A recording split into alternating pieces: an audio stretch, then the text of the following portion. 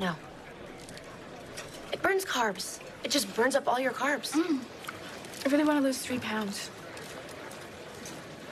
Oh my god, what are you talking about? You're so skinny. Shut up.